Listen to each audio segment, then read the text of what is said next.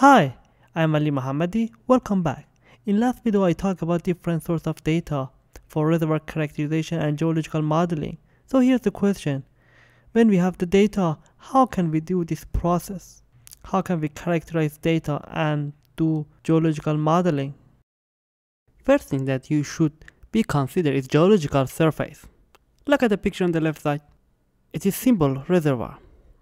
You can see the two impermeable cap rock as well.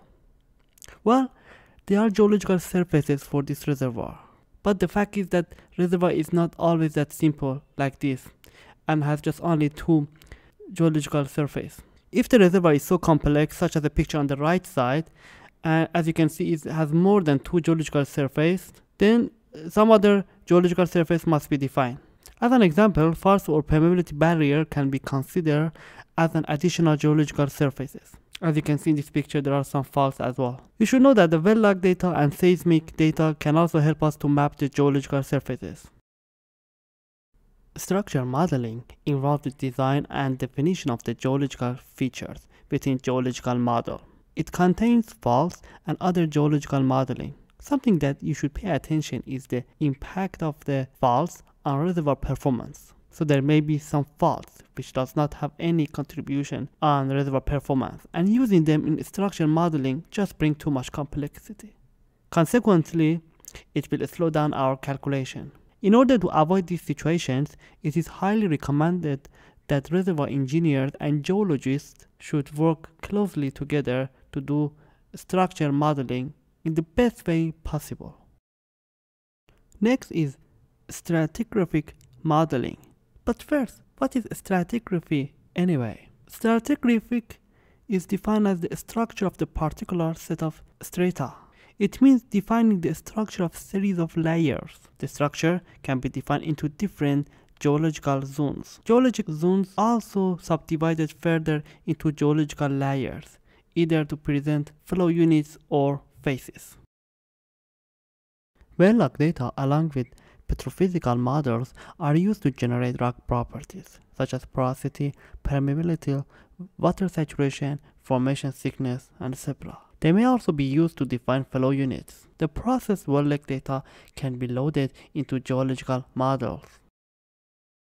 Now, simply we need to input property data such as the porosity, permeability into our model. It can be done by simply assignment of these properties to the grid blocks or more sophisticated methods based on geostatistics can be used. Property data modeling must be done with collaboration of the reservoir engineers and geoscientists.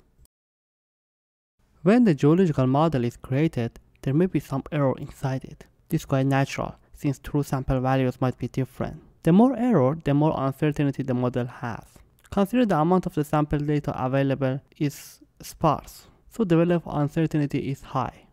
And if the amount of the sample available is large and well distributed across the volume of interest, the value of the uncertainty would be less.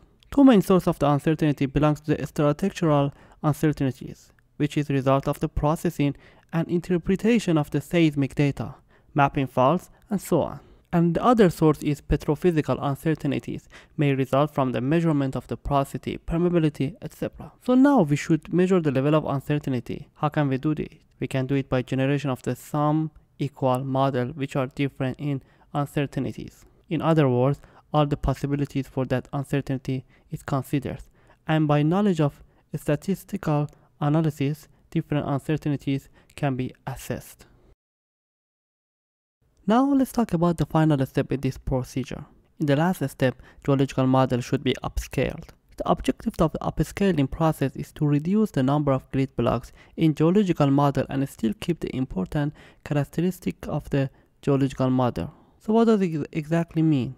Well, geological model as you know is so complex and in some cases it is too large. Using directly the geological model in the simulation as a reservoir model may need lots of time. In addition, computer memory storage is so limited. And finally, the cost of processing the output from large models are quite high. All of these reasons force us to think about upscaling. Nevertheless, in the recent years, the computer technology has improved a lot. so it is expected that by passing time there may be less need for upscaling and maybe one day geological model can be directly loaded for simulation as a reservoir model.